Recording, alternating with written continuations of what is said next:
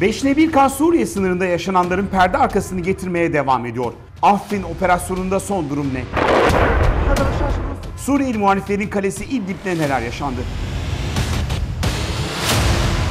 Statüsünden Türkiye ilişkilerine, suikastlerinden skandallarına kadar dünyanın en büyük imparatorluğu Vatikan'ın hikayesi 5N1K'da ekrana geliyor.